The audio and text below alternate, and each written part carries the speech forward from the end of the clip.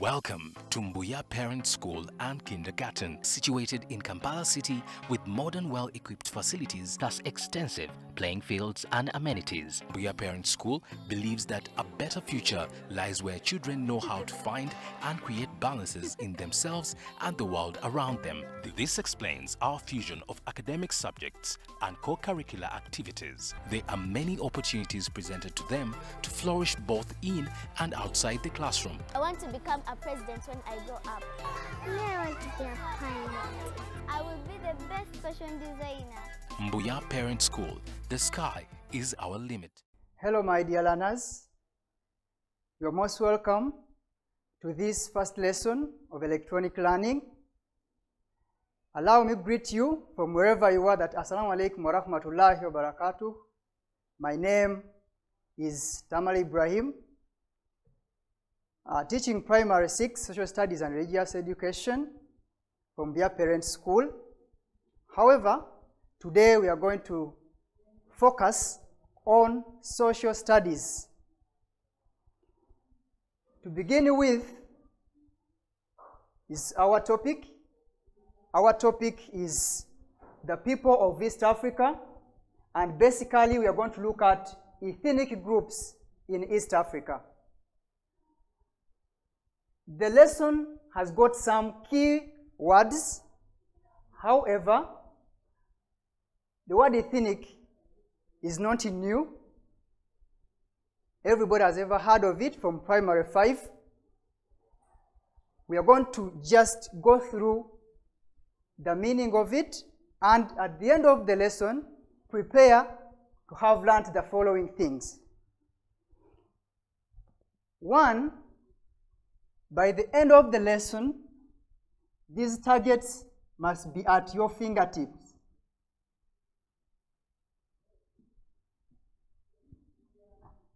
You must be in position to tell what an ethnic group is.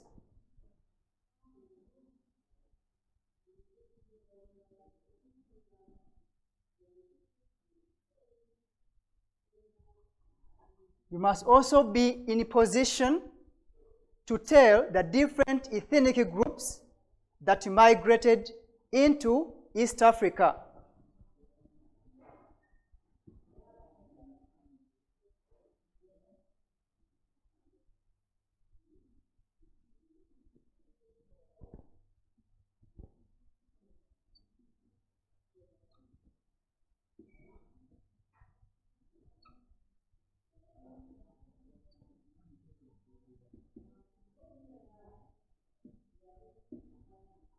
And the last target is going to be the different different origins of ethnic groups. Now, let us ask ourselves this question. What is an ethnic group? To begin with, we have our triangle. It has got five sections. That's the first section, the second section, the third section, and the last section. Now, as the topic is the people, we are looking at the people. And when we talk about the people, what comes into your mind? The smallest unit of the, the people, the way they live, their setting, they live in a family. That is the smallest unit. The smallest unit. And when you look at a family, we, are, we, we do live in different families. There are those who live in a nuclear family. There are those who live in an extended family. There are those who live in foster families. But all in all, we live in families. That's the smallest, that's the beginning of the human social setting. From the family, everybody has got what we call a lineage. A lineage is a group of families having the same ancestor. the lineage is made up of very many families, and when you combine all the lineages, you come to what we call a clan. A clan is a group of lineages or a group of people with the same totem. When you combine very many clans, you come up with a tribe. A tribe, the group of people speaking the same language. An example, I've got very many families in Uganda. We are very blessed. I've got more than 50 tribes in Uganda. But to mention a few, we have the Baganda, the Batolo, the Banyankore, the Bachiga, and very many others. So it, the tribe comes as a result of combination of very many clans, and then we get a big group of people made up of very many tribes. And that group of people made up of very many tribes is what we call an ethnic group. Now, what is an ethnic group? Under ethnic groups, the key concepts here are a group of people, same origin, speaking related languages. And an ethnic group, a group of people who share the same origin and speak related languages. Or you can use the word similar. When we come to a tribe where these ethnic groups come from, we say it's a large group of people who speak the same language and have the same customs, the same practices. So, the question stands what's the difference between an ethnic group and a tribe? Don't forget the key concepts there. In an ethnic group, people speak related languages, but under tribe, people speak the same language. I think now it is solved. For the targets we set, I think number one is done, an ethnic group. We go to the characteristics of an ethnic group. What makes up an ethnic group? One, an ethnic group, as we said in the definition, it has the same origin. They migrate from the same point. Two, an ethnic group, people do the same economic activities. The same economic activities, we can talk about the farming, can talk about the cattle keeping. So under an ethnic group, people carry out similar economic activities. Third, people of the same ethnic group speak related languages. Borrowing the knowledge from the definition, we said a large group of people having the same origin and they speak related languages. Under the characteristic number four, they have the same social and political organization. When we say social and political organization, we mean socially the way these people live, how they relate with other people. Talk about the way they conduct marriage ceremonies, the way they bury, the way they eat. That's all about the social setting. Political organization, here we mean things to do with leadership, with the ruling. We look at these ethnic groups, like the way we are going to see them, some have the same way of ruling, the same way of organizing the social activities. Next point, we have the major ethnic groups in East Africa, and that's our main focus today. Let us list them. I know you have ever covered them in primary five. Number one is Bantu. Why Bantu the first? Bantu, the largest ethnic group in East Africa. Even in Uganda is the largest. So note that is number one there. Number two, we have the Nilotics. You can call them the Luo people or the Luo speakers. Why? They speak the Luo language. You can call them the River Lake Nilotes.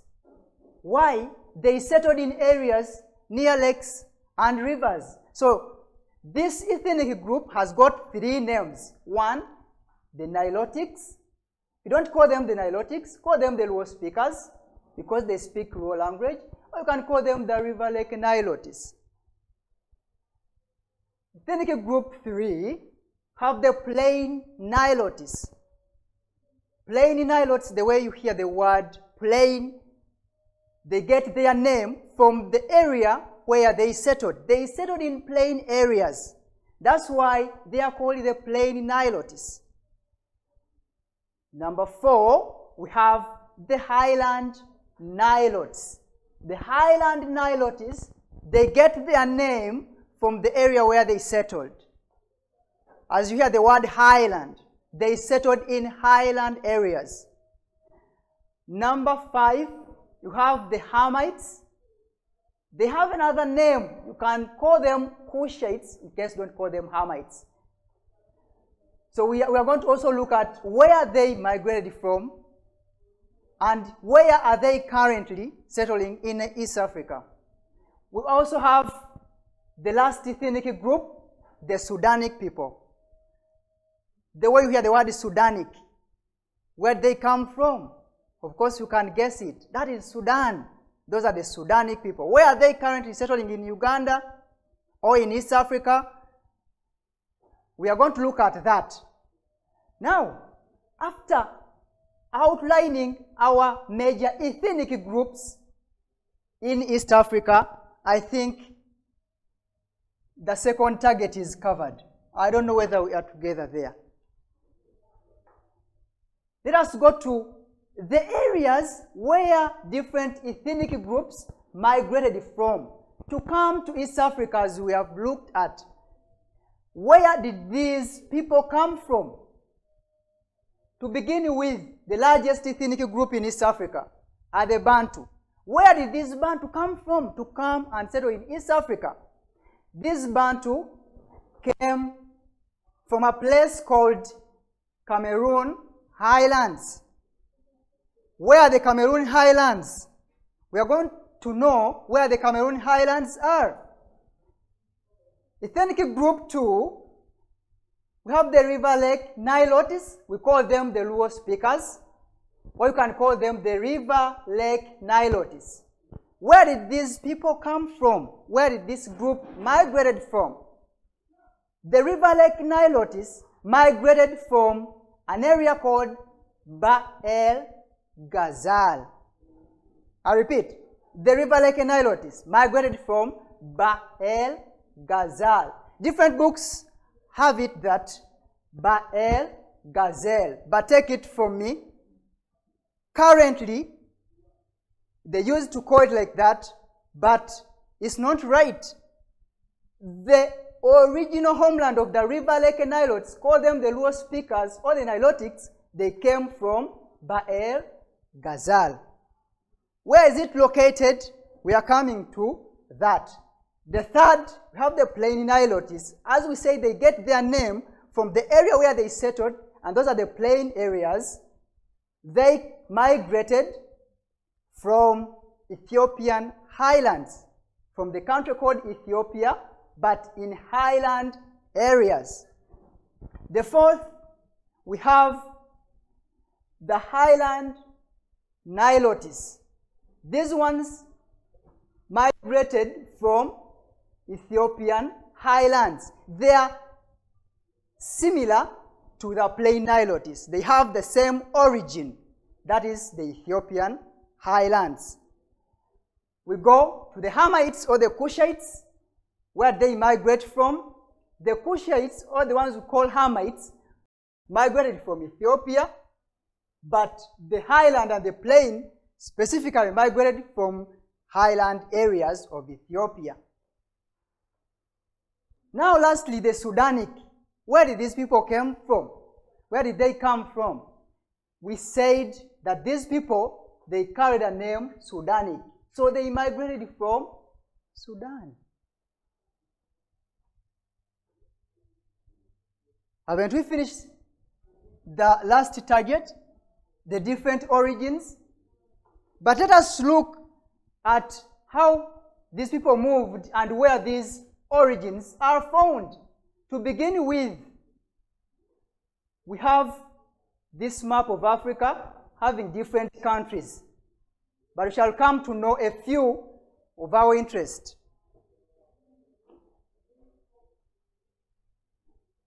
One, the Cameroon Highlands, where the Bantu migrated from. Where are they? They are found in this country. This is Cameroon, the red one. And specifically, this is the area, the one we call Cameroon Highlands. Two, we have the river lake Nilotes. We say that they migrated from Bahr el Ghazal in southern Sudan. And also said we have the highland Nilotes and the plain Nilotes who migrated from Ethiopian highlands. So, after seeing that the Cameroon highlands, Bahr el Ghazal, and Ethiopian highlands were the origins of these ethnic groups we saw up, we can continue. We have the way these people moved to come into East Africa. When you look at this area I'm shading, the area I'm shading is where we find Sudan, meaning that the Sudanic migrated from that shaded area. Yes, they migrated from the shaded area.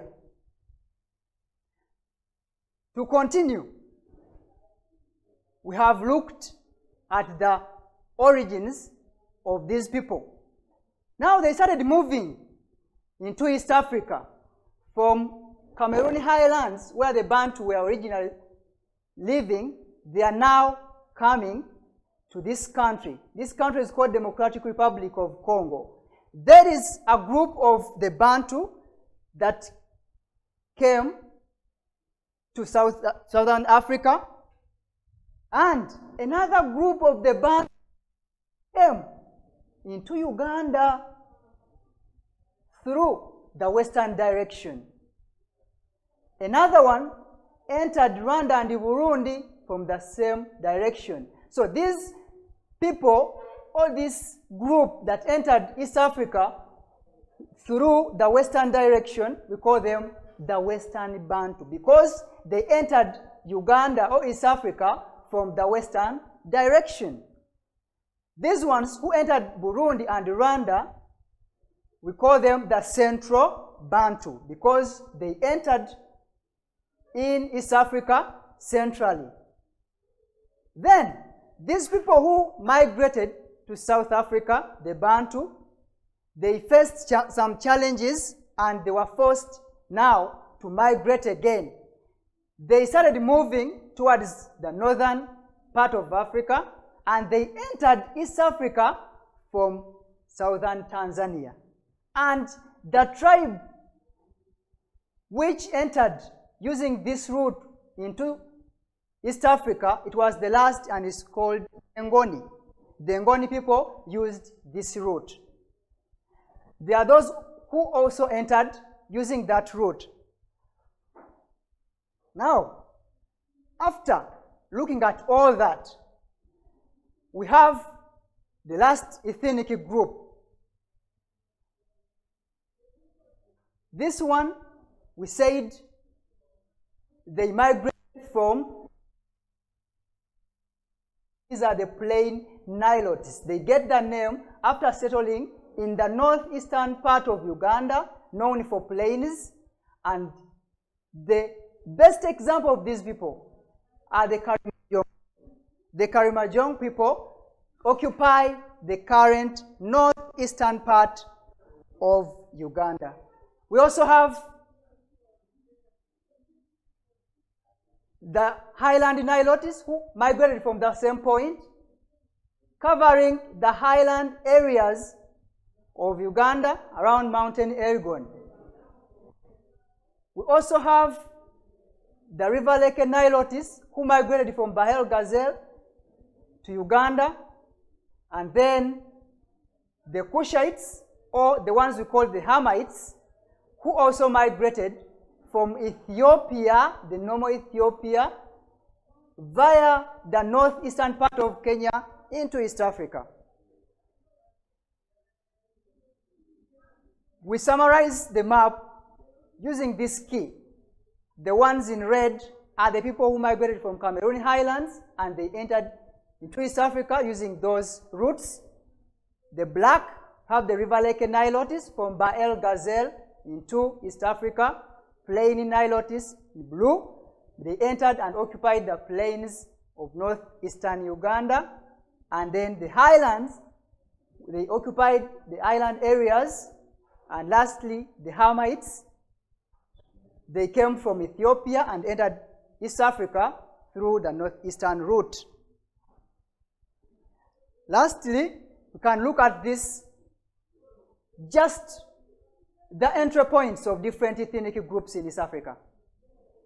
The Bantu, when they migrated from, from Cameroon highlands, as we said, they entered Uganda, and we said these are the Western Bantu, these are the Central Bantu, these are the Southern, the Southern Bantu, who entered East Africa. We also have the River Lake and Nilotes, the ones we said they migrated from Bahr el Ghazal. They entered Uganda, the northern route, and you might find that some of them stretched or went ahead to go to Kenya, and also have the plain Nilotes who migrated from Ethiopian highlands. They came and settled in plain areas. We also have the highland Nilotes who settled around the highland areas of East Africa from the same origin. We also have the Kushites, the ones we call the Hamites, who migrated from Ethiopia and they entered East Africa from the northeastern route of Kenya. Now, all our targets have been achieved we can look at the exercise. Question one, what is an ethnic group? Give the difference between a tribe and a I know you can recall. And lastly, you're going to match the following ethnic groups to their areas of origin. I think everybody can do that. I want to thank you very much for listening to me. As the ministry always emphasizes that this pandemic is very serious, we need to take the precautions. And as I leave the floor, I can demonstrate one of sanitizing